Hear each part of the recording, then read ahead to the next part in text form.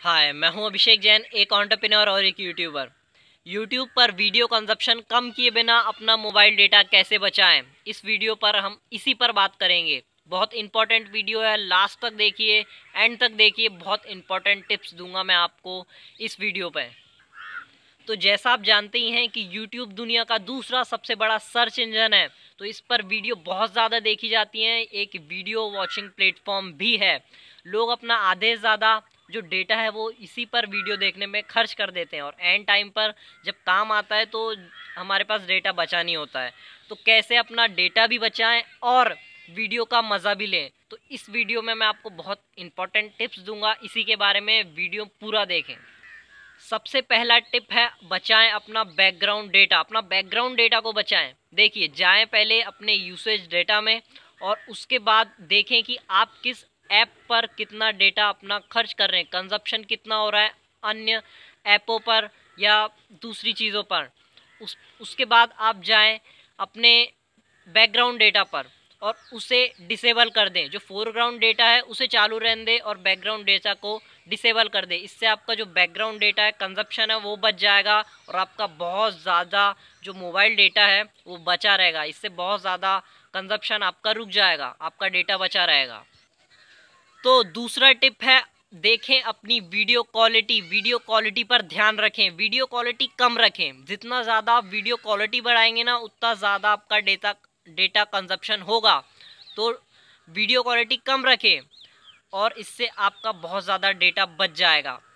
तो video high quality में कब देखें? एचडी वीडियो कब देखें? जब आपको वाईफाई मिल जाए ना, फ्री का वाईफाई मिल जाए ना, तब आप एच वीडियोज़ देख लें।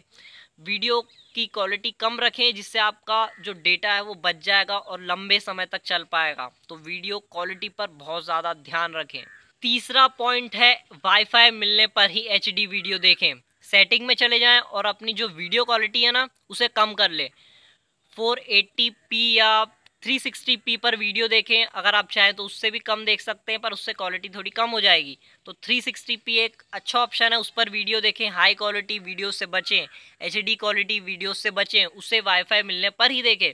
इससे आपका डेटा कंजप्शन बहुत बच जाएगा। ये है आपका तीसरा पॉइंट चलिए आगे बात करते हैं चौथे पॉइंट की।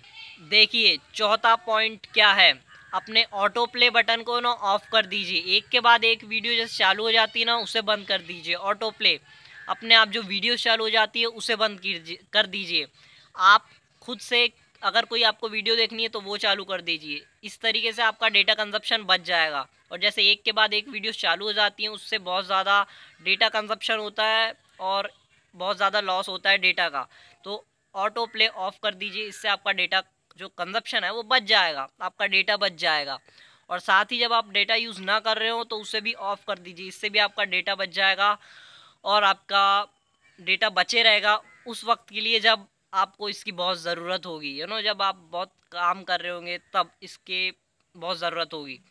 तो वीडियो अच्छा लगा हो तो लाइक कर दीजिए शेयर कर दीजिए सब्सक्राइब कर दीजिए नोटिफिकेशन बेल ऑन कर दीजिए और कमेंट करके बताइए वीडियो कैसा लगा। हमें फॉलो करें इंस्टाग्राम पर ट्विटर पर फेसबुक पर। तो चलिए मिलते हैं अगली वीडियो में। Keep hustling follow your passion